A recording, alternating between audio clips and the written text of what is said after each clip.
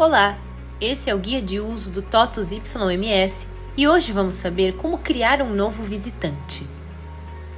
O primeiro passo é clicar no segundo ícone do menu lateral, Configurador. Nesta tela, você poderá fazer todos os cadastros necessários para o seu gerenciamento de pátio. Para criar um novo visitante, clique no terceiro item da primeira coluna, Visitantes.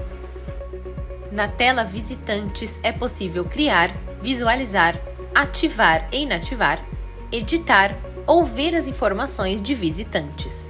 Para criar um novo, clique em Novo Visitante. Uma nova tela abrirá ao lado direito para que você preencha as informações do novo visitante: documento de identificação, CPF ou CNPJ, nome e telefone celular.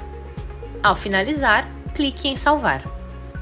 Pronto! O novo visitante aparecerá na tela principal com o status ativo. Ao clicar no menu de três pontinhos, é possível inativar.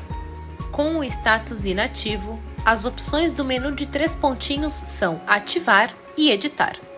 A opção de editar abre a mesma tela de criação para que você ajuste o que deseja. Finalizamos nossa jornada e agora você já sabe como criar um novo visitante. Caso queira mais informações sobre o TOTUS YMS, acesse a Central de Relacionamento TOTUS Suporte Técnico. Até a próxima!